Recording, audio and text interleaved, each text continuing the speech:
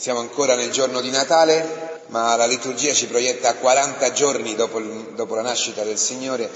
Vedete quante volte è reiterata in questo Vangelo, secondo la legge del Signore, per adempiere la legge del Signore. Dio, che è l'autore della legge, non ha fatto nulla fuori dalla legge. Alle volte Gesù sì, è un po' come, presentato come uno che viene a contraddire eh, l'Antico Testamento, che una legge troppo dura, no, non è vero. Gesù, il Messia, il figlio di Dio, è venuto a dare compimento alla legge. La sua carne è il luogo dove la legge si è compiuta, sapendo che la legge è la felicità. La legge non è, come dice, eh, come insinua sempre il demonio, eh, un limite, ma è il compimento della felicità perché, per così dire, tiene l'uomo nella sua verità, nella sua realtà, che è quella di creatura, che è quella di figlio, che è quella non di padre, non di autore, non di legislatore. Il bene e il male non lo stabiliamo noi, non lo stabilisce l'uomo, il bene e il male lo stabilisce Dio. Il demonio si insinua, si è insinuato, si insinua nella nostra vita per cambiare il bene in male e il male in bene e farci illudere di poter essere come Dio stabilendo noi che cosa sia giusto e che cosa sia sbagliato. E che succede? Che poi questo ci scoppia tra le mani perché non siamo Dio e quindi non possiamo eh, governare neanche un dente eh, della nostra dentatura, della nostra bocca, figurati un po' se puoi governare la famiglia o puoi governare nulla. Dio si è fatto carne per dare alla carne la possibilità di compiere la legge, cioè per dare all'uomo la possibilità di essere felice, felice. Oggi appare Simeone, una figura bellissima perché Simeon, eh, Simeone, Simeon, in ebraico, ha la stessa radice di Shema, l'uomo dell'ascolto. Shema Israele, ascolta Israele, questo è il cuore della fede di Israele, il cuore della fede di Gesù eh?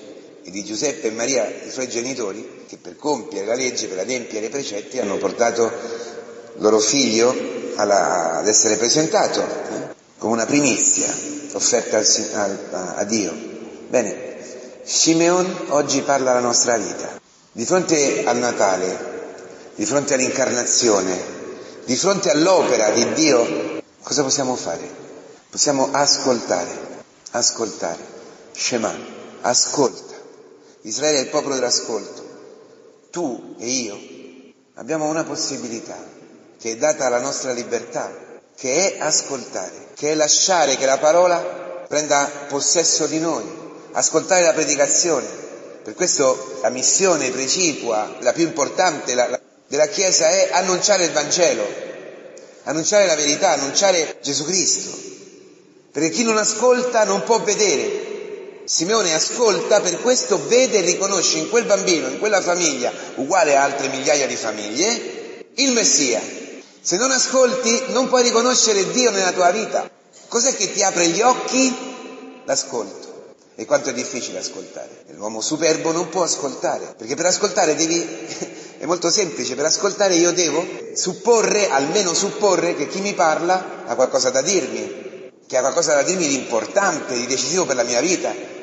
Non ascoltiamo in televisione, no? Quando ci sono i dibattiti, ma non solo politici, di tutti i tipi, ma le nostre discussioni al bar, marito-moglie, è impossibile ascoltare. Non ascolti, tu già hai tutte le risposte possibili e immaginabili di quello che tu immagini che l'altro dica, eccetera, eccetera. I figli non ne parliamo, ma questa si chiama superbia.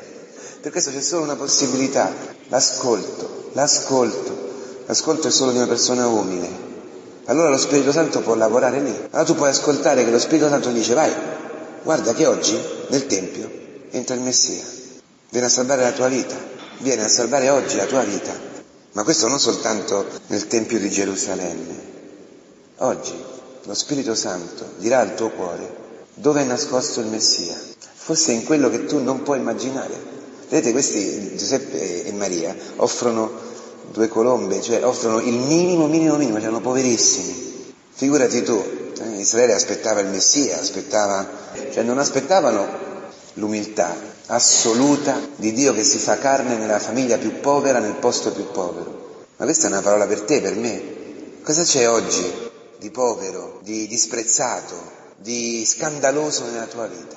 Allora guarda che lì c'è Gesù Cristo, in quello che tu e io stiamo rifiutando, in quello che tu e io vorremmo cambiare, forse nel carattere del marito, della moglie, forse in quella crisi di tuo figlio, in quella crisi terribile di, tua figlia, forse in quella malattia, forse nel fatto che eh, non ti vengono a trovare, che sei anziano, la sofferenza, l'artrosi, nell'incapacità, nella tua debolezza, nella debolezza di chi vedi accanto a te. Lì si nasconde Cristo, perché dice che alla Vergine Maria una spada trafiggerà la tua anima, cioè quello che ha trafitto Cristo sulla croce, trafigge la madre che ha dato la carne a Cristo perché Cristo potesse prendere quella lancia, perché siano svelati i misteri di molti cuori, perché, perché appaia la contraddizione satanica che governa il mondo, appaia la contraddizione del bene trasformato in male e il male trasformato in bene. Allora è necessario che la tua anima, la mia anima, l'anima della Chiesa, l'anima di Maria, sia trafitta e può essere trafitta soltanto se tu hai visto, se tu riesci a riconoscere, cioè se hai occhi aperti per vedere in quell'uomo crocifisso Dio, il Messia. Non a caso la Vergine Maria ha accolto la spada perché era unita, corredentrice, unita al suo figlio nella missione per la quale lei stessa lo ha preparato. Allora tutto si tiene. Ora lascia che il tuo servo vada in pace. Cioè oggi io posso dire ho visto Cristo, ho visto la pienezza, ho visto il compimento della legge nella mia vita, ho visto il mio porto, ho visto la mia pace, ho visto mia, eh, il mio destino, ho visto il mio compimento. Sono in pace. Lascia che il tuo servo vada in pace. Ma andare in pace significa andare crocifissi, significa andare con la lancia nel cuore, significa compiere la missione per questa generazione. Una madre che soffre con Cristo la crisi del figlio è un segno di contraddizione in questo mondo, perché o non fa l'amicona, che si fa le canne col figlio, o perché, perché vede dentro il macello, dentro la sofferenza, quello che il mondo non può vedere. Gesù Cristo che dà la vita, Gesù Cristo che si offre, nella certezza che quella la porta alla risurrezione. Non è importante cambiare le cose, non è cambiare le strutture, non è cambiare il carattere, non è cambiare le sorti di una situazione, no, l'importante è la vita eterna, l'importante è il cielo che si cela dietro alla croce. Allora che il Signore ci dia questo oggi, questo spirito di ascolto della predicazione. Diceva Israele, dice Israele, che non si può stare tre giorni senza ascoltare la parola. Se stai tre giorni senza ascoltare la parola, muori. Allora che il Signore ci dia la grazia di ascoltare ogni giorno, per vedere compiuta in noi la legge, cioè la nostra felicità e la salvezza per questa generazione, la luce nelle tenebre di questo mondo.